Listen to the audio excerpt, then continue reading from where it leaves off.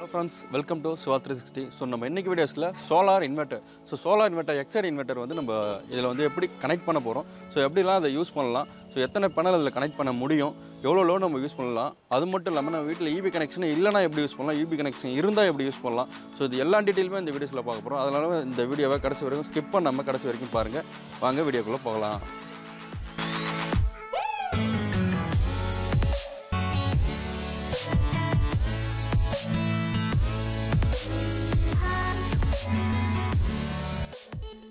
Solar இன்வெர்ட்டரை பொறுத்த வரைக்கும் எல்லா கம்பெனியும் வந்து இதான் ஃபஸ்ட்டு ஸ்டெப்புன்னு சொல்லலாம். ஸோ முதல் ஸ்டெப்பாக வந்து இந்த ஸ்டெப்பை எடுத்து வச்சு அவங்க வந்து ஆரம்பிச்சிருக்காங்க எல்லா கம்பெனியுமே. ஸோ ஒரு ஒரு கம்பெனிலும் ஒரு ஒரு மாடலில் போட்டிருக்காங்க. இதில் பார்த்தீங்கன்னா எக்ஸைடு அப்படின்ற மாடலில் இந்த மாடல்ஸ் வந்து அவங்க ப்ரொவைட் பண்ணியிருக்காங்க. ஸோ இந்த மாடலில் பொறுத்த வரைக்கும் பார்த்தீங்கன்னா நாலு சுவிட்ச் ஃப்ரண்ட்டில் கொடுத்துருக்காங்க. ஸோ அந்த நாலு சுவிட்ச் என்னென்ன அப்படின்றது வந்து நீங்கள் பார்க்கலாம்.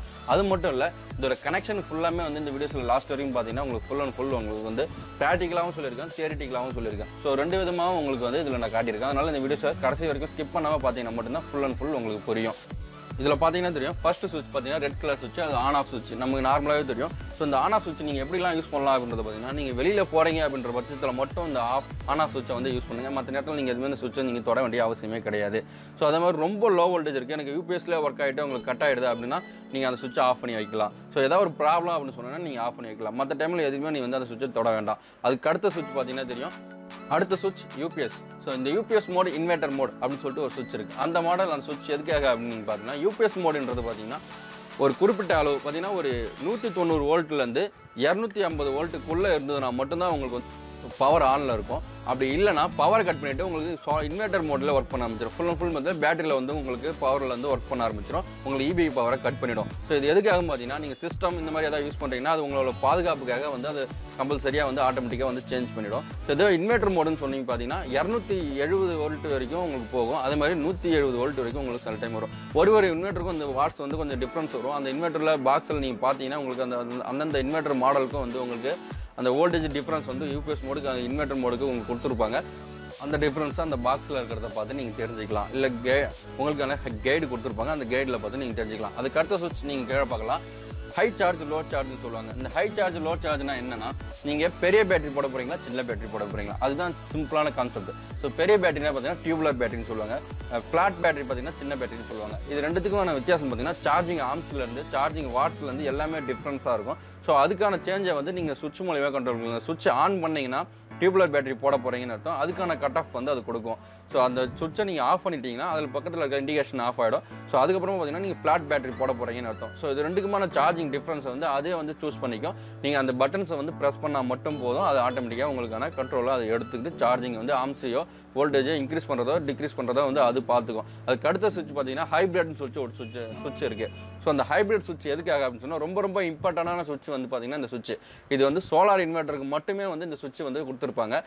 ஸோ இதுக்கான டீட்டெயில்ஸை பார்த்தீங்கன்னா நம்ம வரக்கூடிய இந்த வீடியோஸில் உங்களுக்கு நடுவில் சொல்கிறேன் ஏன்னா இதுக்கான ஃபுல் விளக்கம் நான் வந்து உங்களுக்கு சோலார் பேனலை வச்சு காமிச்சதுக்கப்புறம் தான் அந்த சுவிட்சுக்கான விளக்கம் வந்து உங்களுக்கு புரியும். அதனால தான் ஸோ வாங்க அந்த சோலார் பேனலை ஃபிக்ஸ் பண்ணி நம்ம எப்படி வந்து அது ஒர்க் ஆகுது அப்படின்றத வந்து பார்க்கலாம்.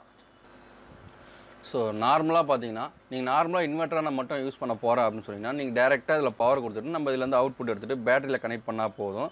இது அப்படியே உங்களுக்கு நார்மல் இன்வெர்ட்டராக ஒர்க் ஆகும். நான் சோலார் வந்து ஃபியூச்சரில் போட்டுக்கிறேன். எனக்கு ஃபஸ்ட்டு இப்போ இன்வெர்ட்டர் வாங்கி நான் இன்வெர்ட்டர் மட்டும் இன்வெர்ட்டர் பேட்டரி மட்டும் நான் யூஸ் பண்ணிக்கிறேன் அப்படின்னு சொன்னீங்கன்னா நார்மல் இன்வெர்ட்டர் பேட்டரி விட இது உங்களுக்கு மிஞ்சி மிஞ்சி போனால் ஒரு ஆயிரரூபா இல்லை ஒரு ஆயிரத்தி நூறு அதிகபட்சம் ஒரு ரெண்டாயிரரூபாக்குள்ள தான் உங்களுக்கு டிஃப்ரென்ஸ் வரும். இந்த இன்வெர்ட்டருக்கும் நார்மல் இன்வெர்ட்டருக்கும் உங்களுக்கு டிஃப்ரென்ஸ் வந்து அவ்வளோதான் வரும். ஸோ அது நீங்கள் இந்த இன்வெர்ட்டரை வாங்கி போட்டிங்கன்னா ஃபியூச்சரில் நீங்கள் சோலார் பேனல் அடிஷ்னலாக சேர்க்கணும் அப்படின்னு நினச்சிங்கன்னா கூட நீங்கள் இந்த இந்த இன்வெர்ட்டரை வச்சு நீங்கள் சோலார் பேனல் வந்து அடிஷ்னலாக சேர்த்து யூஸ் பண்ணிக்கலாம்.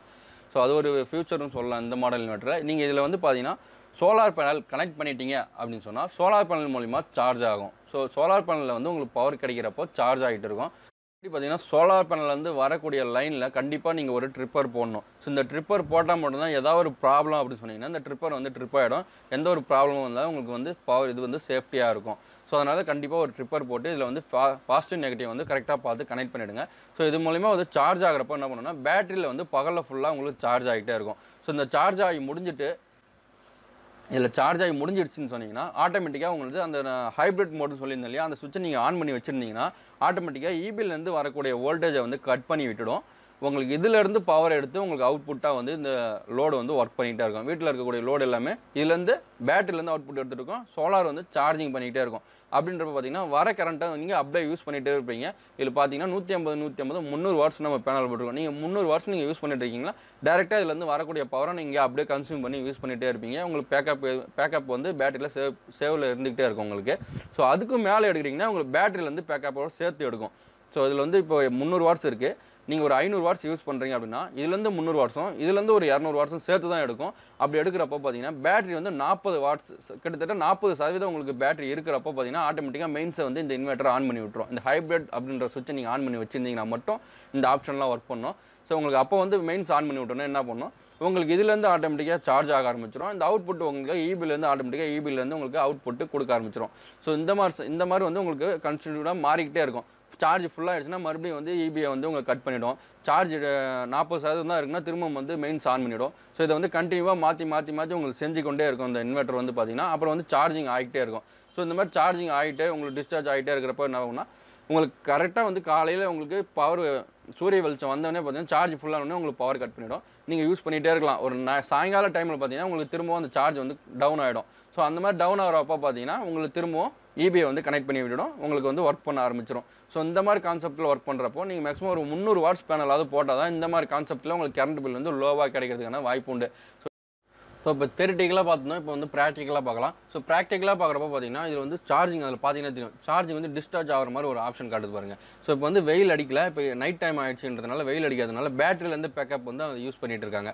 ஸோ அந்த கடையில் வந்து நான் சொல்லியிருந்தேன் ஏற்கனவே இதில் வந்து இபி கனெக்ஷன் கிடையாது. இந்த கடைக்கு வந்து இபி கனெக்ஷனே இல்லாமல் ஃபுல் அண்ட் ஃபுல் வந்து சோலாரில் மட்டுமே ஓடுது. ஸோ இது ஒரு ஹோட்டல்ஸுன்றதுனால இங்கே வந்து பார்த்தீங்கன்னா மிக்ஸி யூஸ் பண்ணுறாங்க அது மட்டும் இல்லாமல் ஒரு ஃபேனு ஒரு லைட்டு நைட்டில் யூஸ் பண்ணுறதுக்கு ஒரு டேபிள் ஃபேன் இது எல்லாமே பார்த்தீங்கன்னா இந்த முந்நூறு வாட்ஸ் பேனலில் தான் அவங்க யூஸ் பண்ணுறாங்க ஸோ இது எல்லாத்துக்குமே அவங்களுக்கு காம்பேக்டாக கரெக்டாக ஒர்க் பண்ணுது. அவங்க பகலில் பார்த்தீங்கன்னா ஒரு பன்னெண்டு மணிலேருந்து ஒரு நாலு மணி வரைக்கும் வந்து அங்கே வியாபாரம் இருக்கும். ஸோ அந்த டைமில் பார்த்தீங்கன்னா கண்டிப்பாக வந்து சீலிங் ஃபேன் ஓடிட்டே இருக்குது ஒரு லைட்டு வந்து நைட்டு வந்து பார்த்தீங்கன்னா எட் ஏழு மணிக்கு ஆன் பண்ணி மணி எட்டு ஒம்பது மணி வரைக்கும் யூஸ் பண்ணுறாங்க அதுக்கப்புறம் அவங்க தூங்குறதுக்காக ஒரு டேபிள் ஃபேன் யூஸ் பண்ணுறாங்க இது அத்தனையுமே பார்த்தீங்கன்னா இந்த சோலார் பேனலில் ஹண்ட்ரட் ஏஹெச் பேட்டரியில் கனெக்ட் பண்ணி மட்டுமே யூஸ் பண்ணிட்டு இருக்கோம்.